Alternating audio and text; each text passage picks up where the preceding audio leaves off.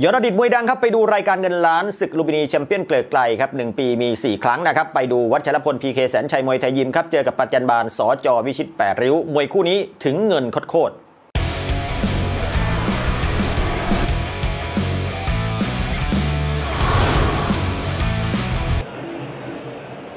ไปกันที่สนามมวยเวทีลูบินีครับศึกลูบินีแชมเปี้ยนเกลือไกลครับวันศุกร์ที่ 4 มีนาคมผลงานของโปรโมเตอร์ชุนเกียรติเพชรปี 59 ครับ นี่เป็นคู่ชิงแชมเปี้ยนมวยไทย 112 ปอนด์นะครับของสนามมวยเวทีลุมพินีครับวัชรพลพีเคแสนชัยมวยไทยยิมครับเจอกับประจันบานส.จ.วิชิตเมืองแปดริ้วสจวิชิตองละออครับขึ้นมาถอดมงคลด้วยตัวเองครับอ้าวแหมเสียหลักครับเสียหลัก ขึ้นมานี่วัชรพลเป็นต่อนะครับ แต่พอปล่อยยกสามมานี่ประจันบาลพลิกมาต่อประมาณ 19 ครับ รรมการสุภาพบุญรอดกรรมการผู้ชี้ขาดบนเวทีนักมวยจาก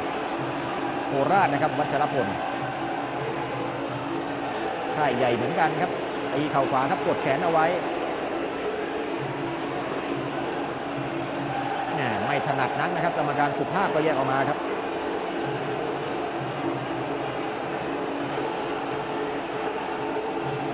ถีบขวาครับประจันบาล ตอนนี้โอ้โหห้าปีผ่านไปนี่ประจันบาลนี่น้ำหนักพรวดพลาดไป130กว่าแล้วนะครับวัชรวัชรพลยังต่อยอยู่118ได้สบายเลยครับ โอ้โหจบที่แข้งขวาของประจันบาลครับโอ้คนเยอะบรรยากาศมันก็เลยดีดีครับแหมเล็กสมสกุลครับขึ้นมาติวเข้มประจันบาลวัชรพลก็แน่นอนแล้วครับทีมงาน PK ครับที่มุมตรึมครับ ยกที่ 4 ครับ ยังเดินต่อครับวัชรพลตีเข่าซ้ายครับวัชรพลครับตีเข่าซ้ายแล้วก็แหมประจันมันก็ตีเข่าซ้าย ประเภทหลักเหลี่ยมครับแพรวๆครับประจันบาน ออกซ้ายหน้าครับประจันบานครับเตะขวาไม่เข้าครับวัชรพลครับกรรมการแยกมา คือเงินสะพัดเลยครับวันนั้นเตะขวาสูงครับหมัดขวาของวัชรพลลูกนี้นี่กรรมการอไอ้ลูกลักษณะแบบนี้กรรมการต้องตาไวเลยนะครับ คือเหลี่ยมก็คือเหลี่ยมนะครับ ขัดขามันก็คือขัดขาครับอยากจะวิงวอนกรรมการทุก ๆ สนามเลยนะครับ ต้องจับมาติวเข้มกันหน่อยนะครับ ลูกขัดขาคือลักษณะแบบไหน ลูกเหลี่ยมมันคือแบบไหนครับ เอาให้มันถูกต้องไปเลยครับ มันจะได้ไม่มีการได้เปรียบเสียเปรียบครับ ทุกวันนี้ก็ยังมีอยู่เยอะครับ มันจะไปยากอะไรครับ ก็แค่ให้แม่นกติกาเท่านั้นเองครับการตัดสิน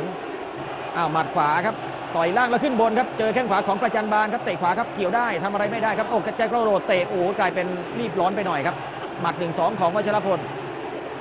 เตะขวาครับประจันบานครับอู้หมัดหนึ่งสองครับอศอกขวาครับ เตะแม่เตะขวาต่อยขวา เตะขวาแล้วก็หมัดขวาครับ แล้วก็หมดยก โอ้โห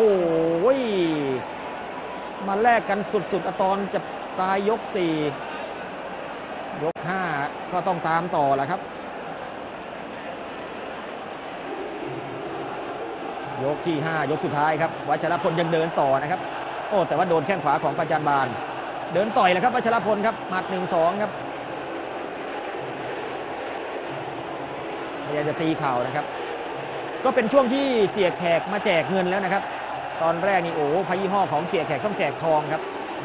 อัดชงอัดฉีดตอนนั้นก็หันมาแจกเงินแทนเอาต่อยลำตัวครับวัชรพลเอาหมัดขวาครับเอางัดศอกขวาตีเข่าซ้ายครับอู้พยายามเหลือเกินครับพยายามเหลือเกินครับปัจจันบานกอดกอดรัดรัดรัดแล้วก็มาพยายามหมุนเอาข้าง แตกหรือเปล่าครับปัจจันบานแหมแตกบริเวณเปลือกเปลือกตาด้านซ้ายนิดหน่อยครับ แผลซึมซึมเลือดซิบซิบครับไกลหัวใจ แล้วก็ลูกนี้ครับโน้มลงไปครับ ก็อยู่ที่กรรมการครับว่าเป็นลูกดัดหลังไหมหรือว่าอะไรฮะกรรมการไม่ว่าแสดงว่าถูกต้องฮะเดินต่อครับวัชรพลครับ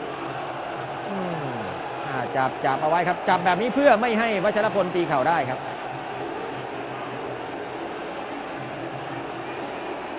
เดินเข้าหาครับอืมถีบขวาเอาไว้ครับ ต่อยไม่โดนครับ อ่า แล้วก็เข้ามารวบเข้ามาจับเอาไว้ครับอ่ารวบมาจับเอาไว้ป้องกันแล้วครับทางด้านของประจันบานครับ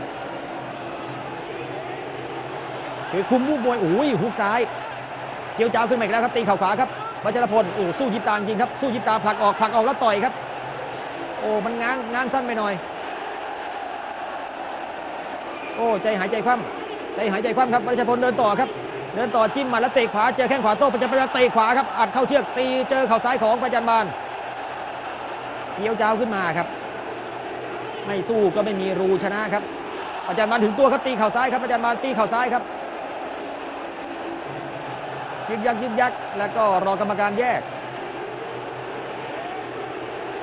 แล้วก็ต่างคนต่างไม่เข้าครับ แฟนมวยว่าอย่างไรครับอะวัชรพลมาเปลี่ยนใจครับ เอาอีกสักหน่อยดีกว่าครับ ทีบอะทีบเอาไว้ครับประจันบานต่อยครับโอ้โห เหมือนโกรธกันมาแต่ชาติชาติที่แล้วโอ้โห แต่นี่คือวิชาชีพครับ วิชาชีพของน้องมวยครับบนเวทีก็ต้องสู้เต็มที่ครับ แล้วก็หมดยกครับหมดยก สจวิชิตขึ้นมาแหมมีความสุขเลยครับยินดีเลยครับ แต่ว่าบรรยากาศทางวัชรพลดูเงียบๆไปครับกรรมการสุภาพบุญรอดครับ รวบรวมคะแนน แล้วก็จะมีการรวมผลคะแนนแล้วก็ประกาศนะครับนี่เป็นคู่ชิงแชมป์112 ปอนด์ครับชิงแชมป์112 ปอนด์ของสนามมวยเวทีลุมพินี เอาละครับก็นี่แหละครับดู action ดีใจของประจันบานครับ วันนั้นเขาเป็นแชมป์112ปอนด์ของลุมพินีครับ ก็เป็นเกียรติประวัติให้กับตัวเองและก็ทางค่ายด้วย และรายการใหญ่ ๆ แบบนี้เงินสะพัดครับ เชื่อว่าอัดฉีดเป็นแสนครับ ประจันบาน นี่นะครับสะใจครับอืมอะชูมือครับจะได้จ่ายตังค์กัน ก็ยินดีนะครับยินดีกับผู้ชนะเป็นกำลังใจผู้แพ้นะครับ